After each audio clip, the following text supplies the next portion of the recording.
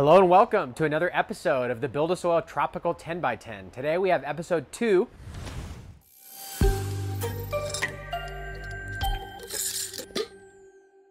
It's important that we document every single thing that happens here so we can be transparent.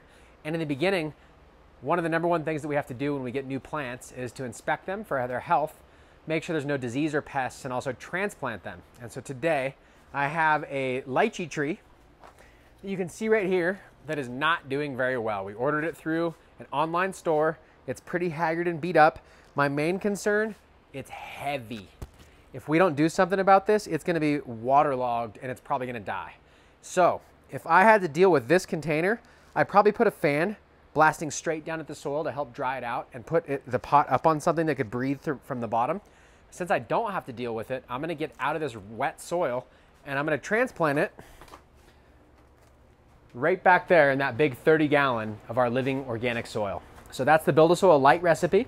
It's been used already one time. We grew cover crop in it, grew another plant in our other series in it.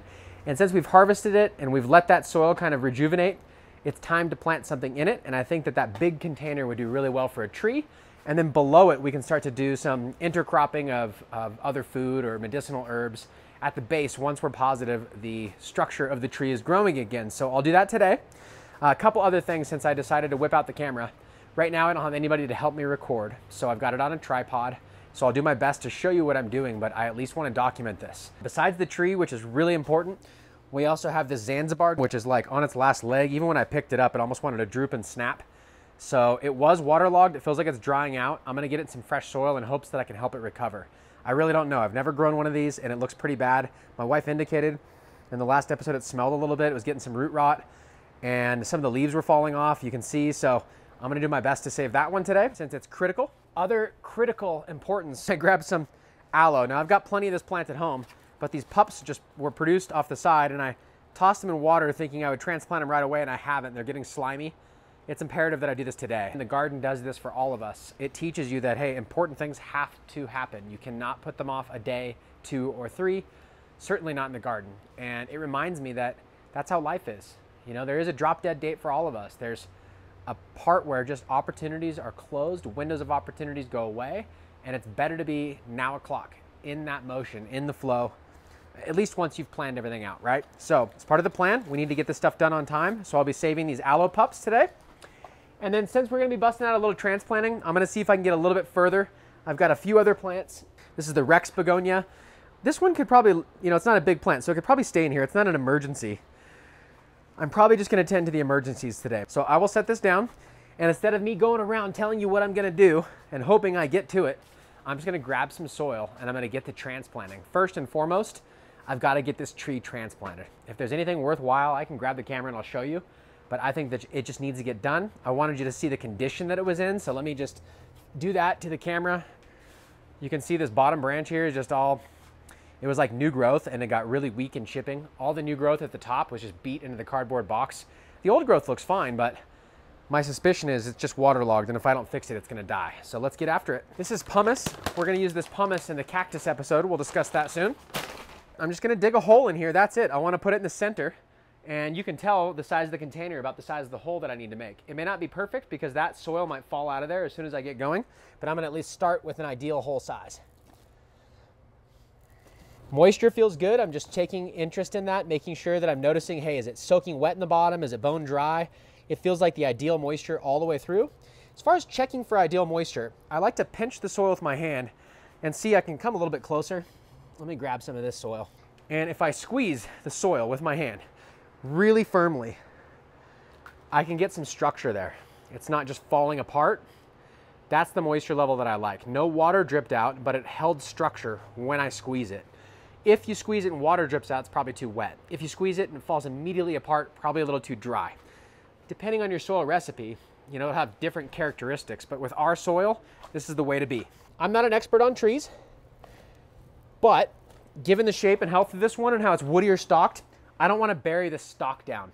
So I'm just gonna keep it at, an ex at the exact height here. When I water in, I really wanna make sure I get some Rootwise in here.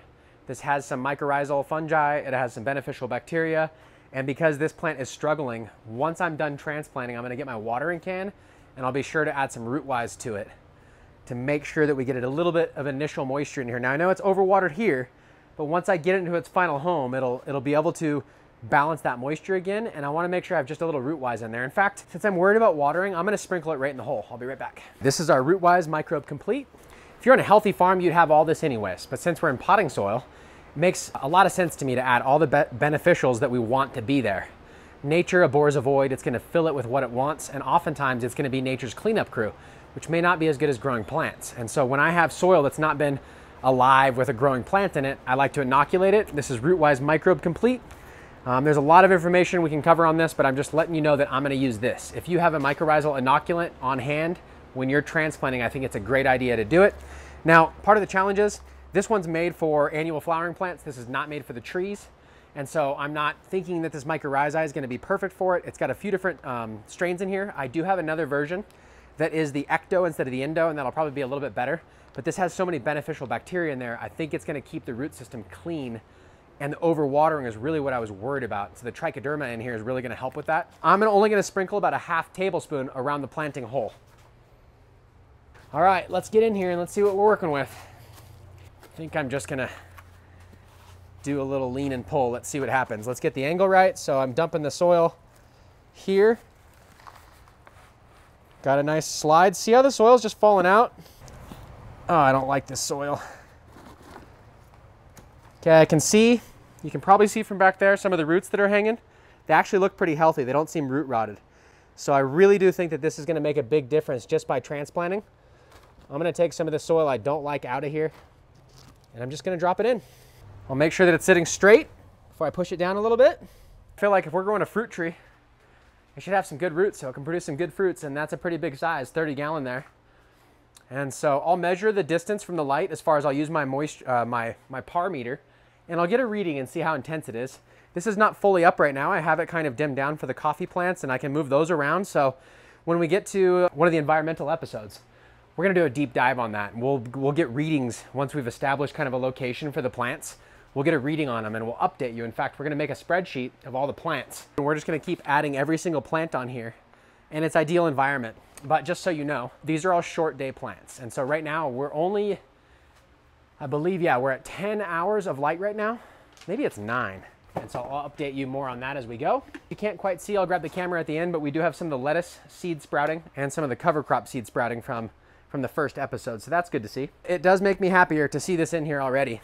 So there'll be plenty of talk about mulch or companion plants, things like that in the coming days. I'd almost like to go over there and water that, but sh I showed you that the moisture was perfect in that soil and I believe it was overwatered in its container. So I'm just gonna let it sit there. And then tomorrow I'll give it just a tiny bit of water and I'll probably add uh, something beneficial. Like we have the Thrive Yahweh. I might add a little bit of some Q, the saponins, which we'll discuss later as we get into products that work. The other thing I'd like to make sure during um, the instruction, as far as this tropical 10 by 10 series, you don't have to use these products. Although we're discussing build a soil products and that's what this is about, I'd like to teach you to make your own soil from scratch, make your own nutrients, make your own compost tea. And if you don't have access to some of that stuff locally, buy it from us or maybe get it from a, a shop that carries Build-A-Soil. But otherwise, a lot of this might be helpful for people in other countries where they don't have a Build-A-Soil to interact with.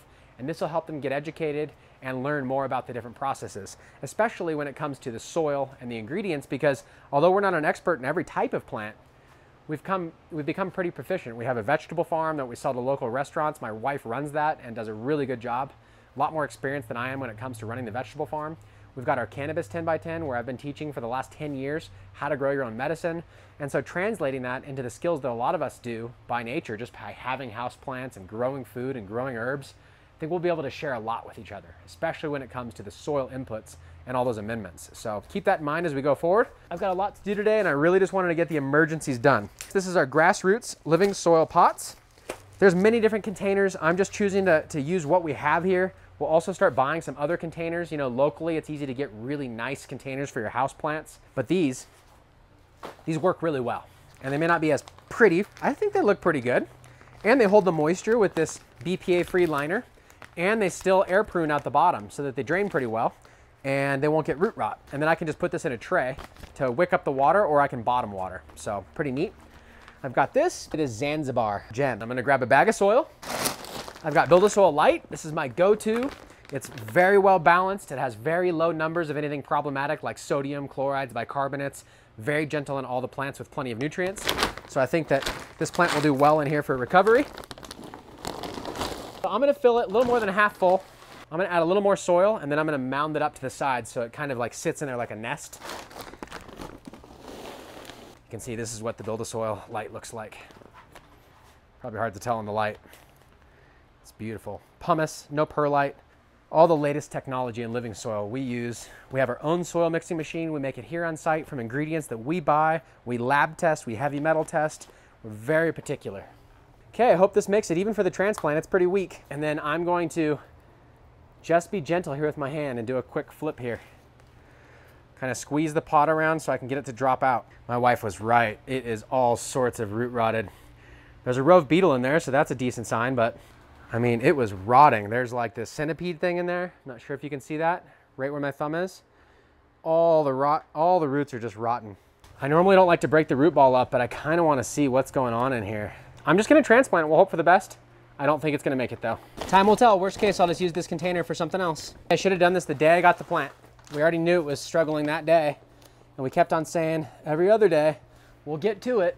Okay, and then what I was going to do is I don't want this to be in too bright a light. I'm just gonna put it over here where it's kind of shaded and it's got a, a little bit of support from the corner of that earth box. I, I want it to be able to just lean on it since it's so weak right now. And hopefully we see a little increased turgor tomorrow. Some sign of color coming back in, but that's what sometimes happens and stuff you should look for. All right, well, let's keep going. Let's not get sad. I'm gonna grab and let's do the aloe. That's the next most important. This will be perfect size container for these aloe to grow bigger till we want to transplant them again. Let me grab a new bag of soil. Build-A-Soil Light, my favorite recipe. It's the one we'll use again. And then you just pull this like a feed bag, unsews the top, and now it's open. Oh yeah, the moisture looks really good in this. Okay. This one I can pretty much have full because there's no transplant root ball. I like to leave a little bit of room in my container, a couple inches from the top, that way I can add more soil later, some mulch easy, it makes it easy to water, and this will be plenty of soil here. Let's go ahead and grab this. I'm gonna peel these outer layers that were kind of rotten off, and now it looks like everything else is healthy. So that's the aloe vera, Barbadensis Miller. And I will go ahead and just put my hand straight in there and let's bury this bad boy. There we go, and since I've got another pup here, might as well plant it next to it. So we got two pups in here. I'm just gonna pack it down so that they stay up. And I hope that is much better than the water it was just sitting in. And so we'll see how those do. I'll go ahead and keep this on the bottom so it's not in too much light. While I'm at it, I've been wanting to transplant this. I think it's gonna be really pretty. I'm gonna go ahead and use Build-A-Soil Light.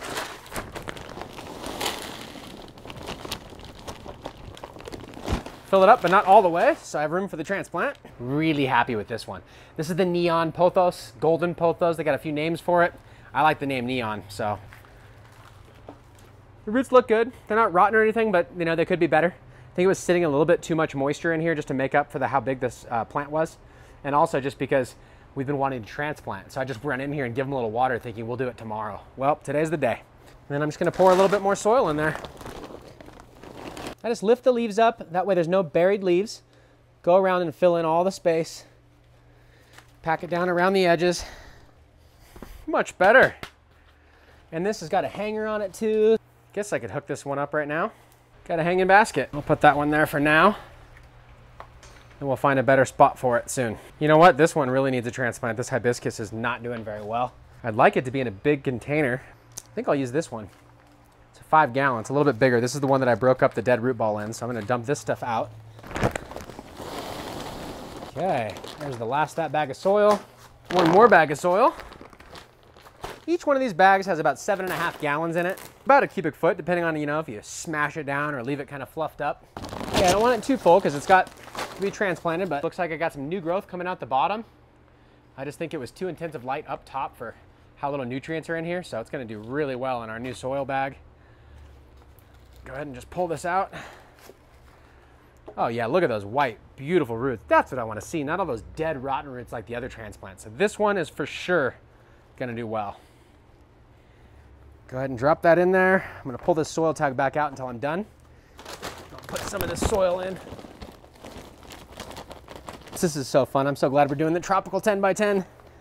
All these different plants in here to see. Plus the iguana is gonna be so stoked. Okay, hibiscus. And then I got the Zanzibar, make sure that's labeled. Go ahead and put that right here. I wanna transplant that, but I wanna put it in something big. All I really have is this, but it's bigger than that, so that'll be a good home for it. You can always do a bigger one later, but it's colorful, so let's put it in the bright one. Put some fresh soil in the bottom. Perfect. I really like the color on this flamingo lily. Excited to transplant it and see a whole bunch of new blooms on here. See how we do getting it out. Cool, it's getting a little bit green in there. See some white roots, but some of them were just grown algae, probably because it's a white container. It lets some of the light through. I can see through it a little bit. I can see the dirt inside. It's not good. That's how you get that algae, right? So clear, white. You want it opaque, especially if it's like in an area where the light is bright and it can hit it. So I'm really glad we're transplanting today. A little awkward here, but whatever. Making a mess, I'll just clean it up afterwards. Oh yeah, a little press down and now it's all even. She's gonna be so much happier now. That's great. Make sure I clean up the trash. Immediately I wanna get a broom and sweep this up. I don't like to leave any debris in here. Some more transplanting for another day. But we took care of some of the most important urgent ones. This hibiscus looked really healthy, but the top growth was starting to get bleached from the bright light in here and not the constant access to nutrients down low. Pains me to have ugly plants in here, but this coffee plant is really doing a 180. Lots of new growth, even since the first episode we did only a few days ago. So I'm hoping that we get some good results there. Otherwise, that's it. This is the one from the last time we transplanted. You can see some of the leaves are opening up and looking a lot healthier. I see lots of new growth coming out on the inside. Wish I could show that to you. I'm not sure you can see on the camera. But inside there, there's just tons. I mean, there's at least 20 new little shoots coming out of the middle. That's what happens after you transplant into build-a-soil.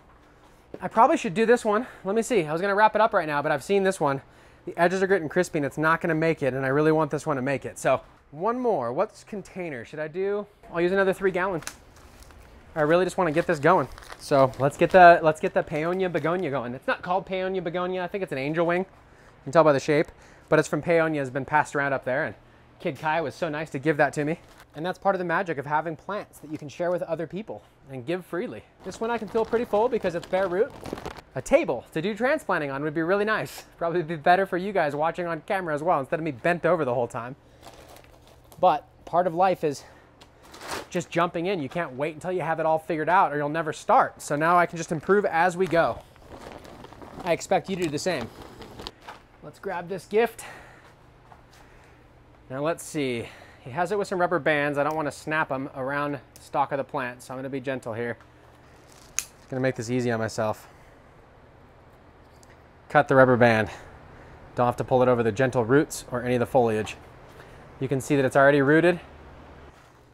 And so I will just set this in really gentle so I don't rip those new roots. There we go. The Paonia begonia. Thanks, Kid Kaya. Thanks, Kurt I feel like I should just keep going. All right, I gotta leave something for my wife and I to do. We have these two, the begonia, and we also have this mandarin that needs to be transplanted. We also have this philodendron, which needs to be transplanted. And so there's more work for us to do. And even after we get transplanted, there's a lot to talk about in here. We're not even getting started yet. Can't wait to get into pest control and to talking about the plants and making your own soil and all of the additives. And we can also compare what's on the market, how to, how to research ingredients when you're buying fertilizer. This one needs some help. I want to transplant too. Okay, well, I could sit in here and talk plants all day. I really just wanted to do the emergency transplants. In the future, I plan on having a transplanting table. We're gonna get some furniture in here and ways to raise these plants up so we have a lot more height in here instead of just everything on the ground. But we had to get started. And as I mentioned before, if you wait for all the lights to turn green before you go into town, you're never gonna leave. So we decided to just get recording, get after it. Uh, for episode two today, we had some emergencies. The lychee plant showed up on Saturday. I'm glad I was checking the tracking. Came with a heat pack, but it was waterlogged and it was beat up. So we got it transplanted. I appreciate you watching. I appreciate the fact that people even care about this because it gives me a platform. It gives me something that I really love to do. And between my wife running the vegetable farm and me running our cannabis 10 by 10, putting both of our minds together and creating sort of a dream come true, I think is really worthwhile. I hope that some of you have the same dream that you'd like to build a tropical paradise of your own, grow your own food that you can eat fresh with your meals every single day, grow your own medicinal herbs that you can make your own tinctures out of, your own medicine for you and your family. And of course, just breathe the fresh air from all these plants, purifying the air, and have a special stress free zone to go to and spend time in. If you like this stuff, subscribe to the channel, like, tell your friends about it, and of course, drop some comments. Tell us the plants you'd like to see us grow. Maybe you've got a rare plant that you want to share with us and we can trade. Maybe you've got a recommendation, like I want to grow some lime, um, little dwarf lime tree. We're going to be growing coffee to, to grind our own beans. Anything that you think is worthwhile. Reach out, put it in the comments here. We're going to read them, answer back, make frequently asked questions videos, and probably take a lot of your advice as far as which plants to grow. So until next time, thank you so much for watching, and I'll see you guys on the next Tropical 10 by 10 episode.